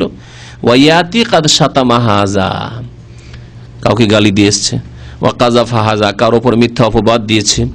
ওয়াসাফাকা দামা হাজা, কাউকে খুন করেছে রাজনৈতিক লড়াই, গোত্রীয় লড়াই, জমি জমা নিয়ে লড়াই। এইভাবে কাউকে খুন করেছে। ওয়াজারাবা হাজা, কাউকে মারধর করেছে। ও আকালা মালা হাজা নবী সাল্লাম আরেকটি বলেছেন ও আকালা মালা হাজা কারও ধন সম্পদ অবৈধভাবে ভক্ষণ করেছে। ধন সম্পদ ভক্ষণ করা খেয়ানত হোক বেইমানি হোক, আর জবরদখল হোক, অথবা ধার নিয়ে পালিয়ে যাওয়া হোক। যে কোনো ভাবে হোক না কেন ফাইউ তাহাজামিন হাসানাতেহি। আল্লাহ পাক রব্বুল সেই দিন প্রত্যেককে ডাকবেন, যতগুলি পাওনাদার, এই পাওনাদারকে ডাকবেন। আর ডাকার পরে ওর নেকি থেকে পরিশোধ করা শুরু করবেন। যতগুলি লোক জুলুম অত্যাচার করেছে। হাজামিন হাসানাতে, একে নেকি থেকে, ওকে নেকি থেকে, ওকে নেকি থেকে দিতে দিতে দিতে, ফাইন ফানিয়াত হাসানা তো কাবলা ইয়ুকজামা আলাইহি। তার উপর যে যতগুলি মানুষের হক ছিল, বান্দার হক, এগুলি পরিশোধ করতে করতে নেকি শেষ। নামাজের নেকি শেষ, রোজা, হজ জাকাত দান খেরাত মাতা পিতার সেবা, যত নেকি সব শেষ হয়ে গেল। এখন কি হবে? শেষখানে একটা লোক আসছে, আসার পরে বলছে যে, আল্লাহ, আমি দাম্মামে ছিলাম আর এখানে এই ভাই ভিসা ব্যবসা করতো। ওকে ভিসার জন্য আমি পাঁচ হাজার রিয়াল দিয়েছিলাম আর বলেছিল যে, তোমাকে একটা ভালো ভিসা দেব। আর সে ভিসা দেওয়া তো দূরের কথা, আমার পয়সাও ফিরিয়ে দেয়নি, ভিসাও দেয়নি, দেশে চলে গেছে। কাল কিয়ামতে এই বিচার যখন আদালতে আল্লাহ পাক রব্বুল আলমিনের পেশ হবে আর আসামির কাঠগড়ায় দাঁড়াতে হবে, কি করবেন? নেকি শেষ হয়ে গেছে। দেশে যে লড়াই গড়ি করেছিলেন, মারপিট করেছিলেন, জুলুম অত্যাচার করেছিলেন, আর কত রকমের জুলুম করেছেন, অন্যায় করেছেন, ওগুলোতে নেকি শেষ হয়ে গেছে। এখন এইগুলো পরিশোধ করতে হবে? ওখে জামিন খাতায়া হোম নবী বলছেন যে, আল্লাহ পাক জিজ্ঞাসা করবেন, ওই লোকটিকে যে অভিযোগ করার জন্য আল্লাহ যে আমার টাকা নিয়ে যে ভিসা দিও বললে টাকা নিয়ে উদাও হয়ে গেছে, আল্লাহ এর বিচার করে দাও। আল্লাহ বলে, তোমার গুনাহ আছে? যে আল্লাহ, আমার গুনার জন্য আমাকে জাহান্নামে যেতে হচ্ছে। আমার কিছু কাবিরা গুনাহ আছে এই জন্য জাহান্নামে যেতে হচ্ছে। ওখে জামিন খাতায় আহম আল্লাহ পাক ওর গুনাহগুলিকে নিয়ে ফাতুরে আলহে ওর উপরে চাপিয়ে দিবে ওই যে ঋণী ব্যক্তি টাকা নিয়ে পলাতক হয়ে গেছেন, ওর উপরে গুনাহগুলিকে আল্লাহ পাক চাপিয়ে দেবেন। ওখে জামিন খাতায়া ফাতুরিহা আলী সুম্মা তুরিহা ফিন্নার তারপরে আল্লাহ পাক তাকে জাহান্নামে নিক্ষেপ করে দেবেন। তাহলে নামাজ, রোজা, হজ জাকাত করেও মানুষের হক যদি নষ্ট করে থাকেন, মানুষের কাছ থেকে ধার নিয়েছেন অথচ দিচ্ছেন না। ধার নিয়েছেন, তারপরে বলছেন যে এখন তোর ঠিকানা ঠিকানা নেননি কেন আপনি? ধার নিতে পেরেছেন, আর তার ঠিকানাটা রাখতে পারেননি আপনি। তার অ্যাকাউন্ট নম্বর রাখতে পারেননি, তার টেলিফোন নম্বর রাখতে পারেন তার কমপক্ষে গ্রাম আর থানাটাও যদি লিখে রাখতেন, তাহলে খোঁজ করে করে আপনি চলে যেতে পারতেন। আরে টেলিফোন পরিবর্তন হয়ে যেতে পারে, কিন্তু গ্রামের নাম তার পরিবর্তন হবে না, থানার নাম তার পরিবর্তন হবে না। ওই লোকটির নাম, থানা, পোস্ট অফিস যদি আপনার জানা থাকতো, এতটাই যথেষ্ট ছিল আপনার ঋণ পরিশোধ করার জন্য। বহু লোক এরকম আছেন। আল্লাহ পাক যেন হৃদায়ত দান করেন। আল্লাহ পাক আমাদেরকে নেক আমলে যেন তৌফিক দান করেন। আল্লাহ যেন তার হক আমাদেরকে আদায় করা সুন্দরভাবে তৌফিক দান করেন। মানুষের হক আদায় করা যেন তৌফিক দান করেন। আল্লাহ পাক আমাদের গুনাহ খাতা যেন অতীতের মাফ করে দেন। মানুষের যদি হক আমাদের উপর থাকে, আল্লাহ পাক সেই হকগুলি আদায় করার মতো আমাদের ইমান যেন দান করেন। আল্লাহ পাক সেসব আদায়, হক আদায় করা যেন তৌফিক দান করেন। আল্লাহ আমাদেরকে ঋণ মুক্ত হওয়ার যেন তৌফিক দান করেন। আল্লাহ اللهم اكفنا بحلالك عن حرامك وأغننا بفضلك عمن سواك. ربنا ظلمنا أنفسنا وإن لم تغفر لنا وترحمنا لنكونن من الخاسرين. ربنا لا تؤاخذنا إن نسينا واخطأنا. ربنا ولا تحمل علينا إسرا كما حملته على الذين من قبلنا. ربنا ولا تحملنا ما لا طاقة لنا به. واعف عنا واغفر لنا وارحمنا أنت مولانا فانصرنا على القوم الكافرين. سبحان ربك رب العزة عما يصفون وسلام على المرسلين والحمد لله رب العالمين.